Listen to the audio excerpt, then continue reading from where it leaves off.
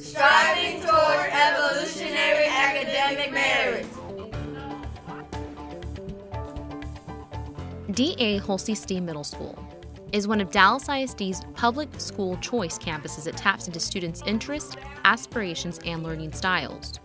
Hulcy STEAM challenges students by integrating science, technology, engineering, arts, and mathematics into the classroom.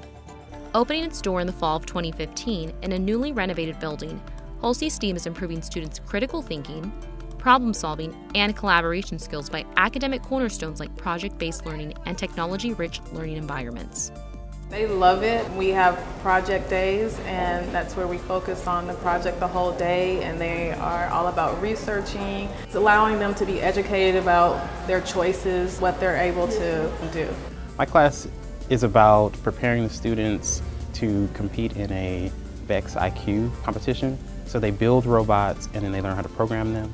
They really enjoy the programming and the building aspects of the robotics curriculum. Actively exploring real world problems through meaningful activities, and incorporating technology to provide an engaging atmosphere. This choice school is creating a best fit option for all Dallas ISD students and is open enrollment across the district. Applications to attend Hulcy STEAM will be available in late fall. Find out more by visiting D.A. STEAM Middle School's website